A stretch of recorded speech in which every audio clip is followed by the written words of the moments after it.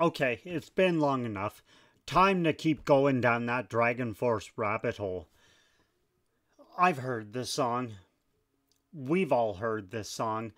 If you were a Guitar Hero fan when it was at its peak, even if you don't know who Dragon Force is, guaranteed you know this song and just how, even on the easiest setting, just how brutally difficult this was. This song was going to eat you up and spit you out.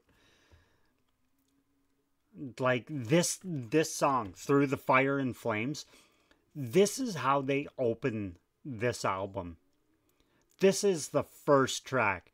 So you know every other time you hear Dragon Force, you know you're in for something special. This is going to be special on a whole new level. This is Inhuman Rampage. Before I get going, be sure to subscribe. Helps me out so much. Patreon is in the description down below. New uploads every Sunday. Track 1 through the fire and flames. Let's do this.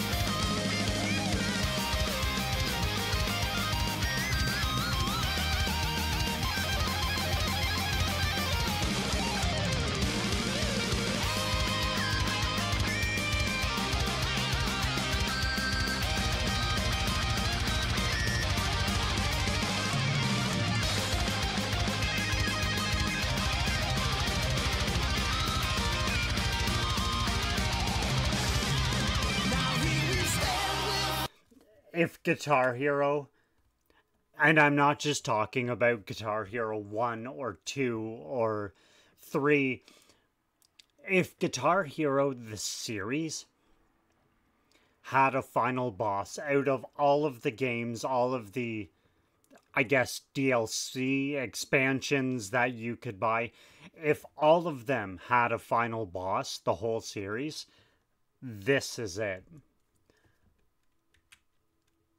And this is the first song from Inhuman Rampage. This is the very first song. You know, if a band opens an album with something like this, buckle up. You know you're in for something special.